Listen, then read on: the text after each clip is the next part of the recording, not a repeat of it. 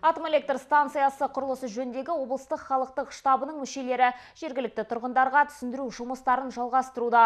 Бұл жолы штаб мүшелері Көкшетаудағы нөмірі екінші мектеп лицейінің ұжымымен кездесті. Олар еліміздегі атом энергетикасының дамуы және атом электр станциясын салудың артықшылықтары туралы баяндады. Штаб өкілдері елімізде атом энергетикасын дамытудың қаншалықты маңызды екенін презентациялық материал арқылы көрнекі және тереңірек түсіндіруді жөн санапты. Мемлекет басшысы Қазақстан халқына арнаған жолдауында генерацияның бұл түрі экономиканың тез артып отырған қажеттіліктерін мейлінше қанағаттандыруға ықпал ететінін атап өтті. Қазір дамыған және дамушы 30 мемлекетте 200-ге жуық атом электр станциясы жұмыс істеп тұр. Наибольшее количество, ақшта атом реакторларының саны жүзге жуық қытайда 56 ресейде 36 ал чехияда 6 реактор болса бельгияда 5 венгрияда 4 реактор жұмыс істеп тұр.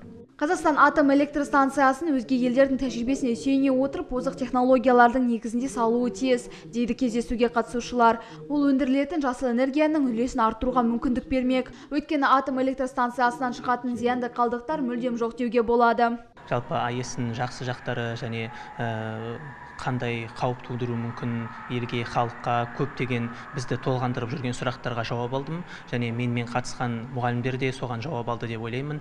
Бәрі өте түсінікті болды өте керекті ақпараттар керекті жаңағы сұрақтарға жауаптар барлығын алдық.